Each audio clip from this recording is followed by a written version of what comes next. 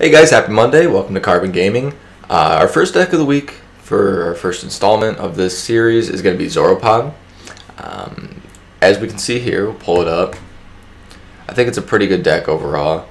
Um, I've been using it a little bit in the past couple weeks, and we're going to go through the deck, basically talk about why things are there, what they're used for, and you know talk about some techs you can put in as well. But this is just the first um, look at it, and then Tuesday, Wednesday, Thursday, we'll actually play with it.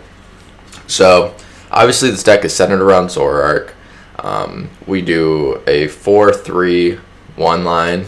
Um, the three trade Zoroarks. I found that, you know, having four is beneficial. However, three seems to be fine, and I want to include a stand in Zoroark in there as well. Um, just to get that, you know, retreatability and getting the Golisopod out of the active. Um, trade obviously is a great ability. It's been highly used in the past few months, ever since Zoroark was released, and it doesn't seem to be going anywhere anytime soon. Um, obviously, fighting has been a big issue. However, Golisopod does help with that, um, being the weakness to Zygarde and Lycanroc, which are two big techs in Buzzwole. Um, along with the Buzzwole matchup, you gotta watch out for Buzzwole in general because he basically runs through any Zoruas and can really run through a Zoroark on turn two if uh, they have a solid turn one. So Mewtwo is the best I can do with it.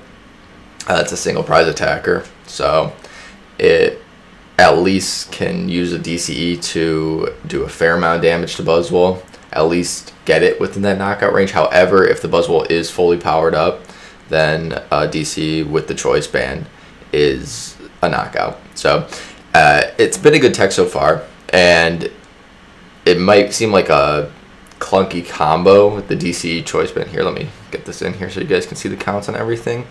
Um, might seem clunky with DC choice band. However, with Zoroark, you can run through your deck pretty quick, and uh, you find it without a problem most of the time. Um, like I said, Golisopod, I do 3-2. That seems to be fine. Uh, you typically want two Wimpods out at a time just so you can ace Acerola. As you can see, we play three here. Um, however, you know, you might not get that lucky, but this is the Wimpod you want to play. Wimp out during the first turn. Pokemon's no retreat cost. That has helped me a hundred times. Um, I didn't realize how good that ability was until I actually started playing and it, it's amazing how helpful that becomes when you know all you have is a Wimpod and an Ultra Ball. You can still get that turn one Brigette out, and you can retreat it back to your active or the bench. Excuse me. Golisopod is good because it's Golisopod. Um, if you don't know what it does, first impression is the main reason why it's good. if it's on the bench and becomes your active during the turn for one grass energy, does 120. We have Lucario now that does this as well, which we'll probably be playing here. Um, maybe next week, depending. We might try something else, but we'll be playing Lucario at some point. Um, so, but it's between Lucario and Golisopod on which one's better. Um, so we'll be testing Golisopod this week. It's second attack, 100 damage, takes 20 less damage, which can be really helpful. And then Crossing Cut with a Choice Band can knock out any basic GX for the most part, besides Buzzwole, of course. But, um, you know, that's what Mewtwo's for. Also, uh, this Tapu Koko this is a great like first turn attacker for those decks that you can't hit the right numbers.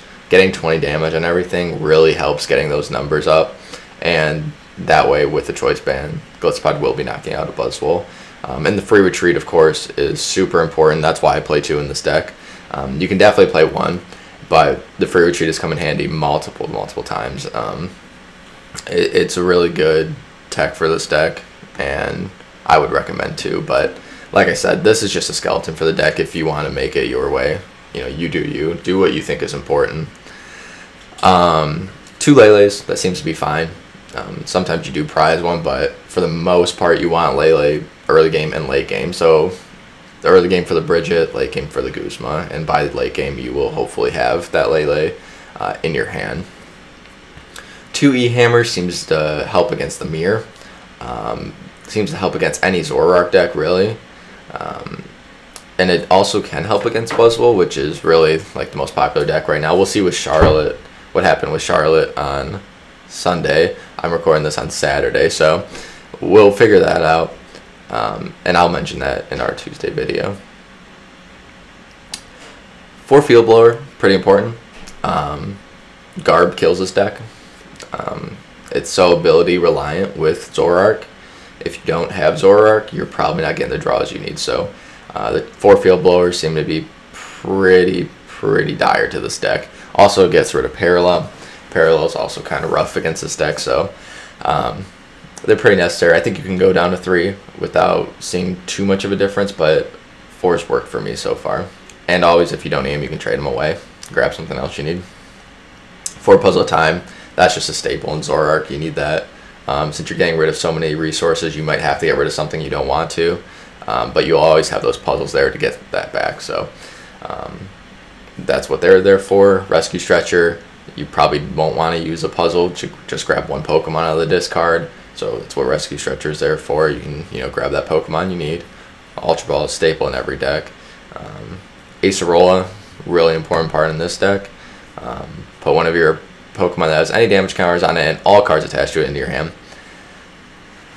Buzzwole's like pretty hefty, so chances are he'll have you know between 180 and 200 damage on him, and you can just pick him right up. And it's like nothing happened, and slap him down on another Wimpod, which is you know the benefit to having that other Wimpod on your bench. So Acerola is super good, um, especially in this deck. And there's even chances where you can use it on your Zoroark. So um, there's really no downfall to it. And once again, if you don't need it, you trade it away. And that's the beauty with this deck. If there's something you don't need, you just trade it away. Okay, sorry about that. So two Brigette. Um, I don't find myself prizing those too often. Um, and like I said, this deck is pretty set in what you want in it. So the two Brigette are there just to make sure there's space for something else. Uh, you could play three if you feel that you've been you're prizing both of them, uh, but most of the time you're just going to play one Brigette throughout the game, and then you'll trade the other one away later. Um, so two seems to be fine. Two Cynthia and three N. I want to group those two together.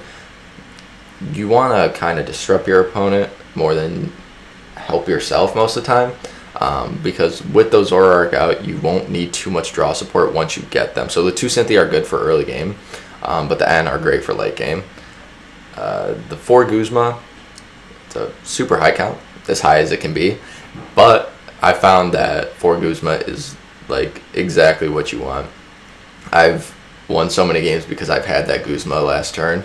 Um, four is the perfect number in my opinion for this deck. Getting Golisopod out of the active and back in um, to hit that 120. Getting anything that might be stuck, like a Zoroark might be stuck, or a Mewtwo or Wimpod. Getting those out, perfect for Guzma. And just your opponent might be hiding a Pokemon because most of this deck is a two-hit knockout, so you might put 120 on something that will retreat it out and start hitting with something else. You just Guzma that back in, and you know take care of that. Mallow is a card you have to have in the Zoroark deck.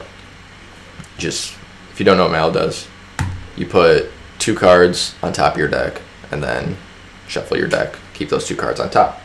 So if you trade away something, you get any two cards. It's It just works perfectly in this deck, especially if you're looking for energy. Um, as you see, we play a low count of grass. Or that Choice Band DC combo from Mewtwo. Uh, it, it's the perfect card for that two Sycamore. You don't want to overdo the Sycamores in this deck just because you're already trading away so much. You don't want to deck yourself out, and it's simple as that. Uh, the two choice bands, it's all I have room for. If I would make a change, um, I would probably get rid of one field blower and put in one choice band. But, you know, like I said, it's up to you. Um, at the end of the week when we go over the performance, I might talk about that some more, but uh, that's just my opinion on it right now. And then 4 DCE for Zoroark and Golisopod, and 4 Grass for the Golisopod. Um, that's the deck. We're going to be playing with it Tuesday, Wednesday, and Thursday, so we'll get three really good matches in. Um, and then on Friday, we'll go over the review of it and what we think. So before we go, I just got a pack, so might as well open it on camera, right? I don't know if you can hear that cat, but he's having a good time. Oh, an uncommon chest too, why not? These are always garbage. Yep, shield on. And then Guardians Rising. Let's hope for that Lele. My luck with packs has been trash lately. I bought a Lucario box yesterday and it was garbage. Honchkrow. Perfect. Alright guys, well thank you so much for watching. Check back here tomorrow, uh, same time, and we'll have a matchup up on the channel. Um, some great commentary, and hopefully a win. So, thank you guys for watching. See you tomorrow. Bye-bye.